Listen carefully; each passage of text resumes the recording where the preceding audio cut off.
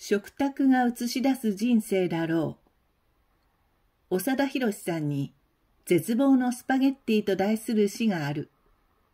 始まりは、冷蔵庫のドアを開けて一個の希望も見つからないような日には、あり合わせの食材でイタリア料理を作る様子だ。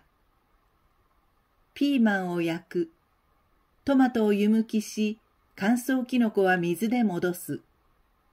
それらをオリーブ、アンチョビー、パセリ、玉ねぎなどと刻む。じっくり炒め、チーズをたっぷり振って熱々のパスタにかける。一個の希望も見つからない平凡な一日を慰めてくれる素晴らしい絶望。かの陽気な国は残り物から工夫した一皿を逆説的な名で読んだらしい。しかし世界にはまさに絶望というしかない現実を生きている人たちがいる。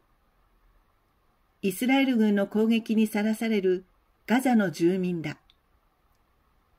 軍の指示で避難した先でも狙われる状況は理不尽以外の何者でもない。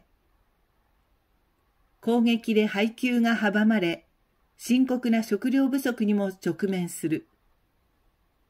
国際刑事裁判所が戦争の方法として飢餓を利用したとイスラエルを糾弾しても逆に猛反発する始末だ。